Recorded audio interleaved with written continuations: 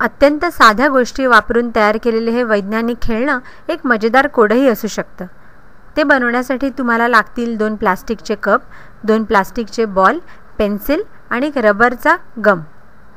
सुरुवातीला दोन प्लास्टिकचे बॉल एका कपमध्ये घालून घ्या आणि कपच्या कडेला असं रबर बेस्ड ॲडिसिव्ह नीट लावून घ्या.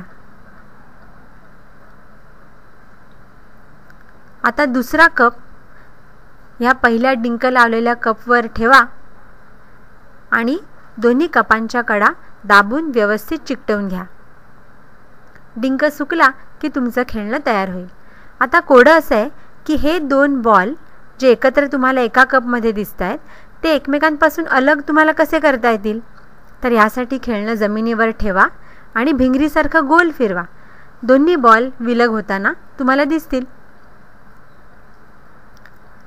खेळणं फिरवायला सोपं जावं यासाठी ह्याला आपण डिंक वापरून एक पेन्सिलही लावू शकतो.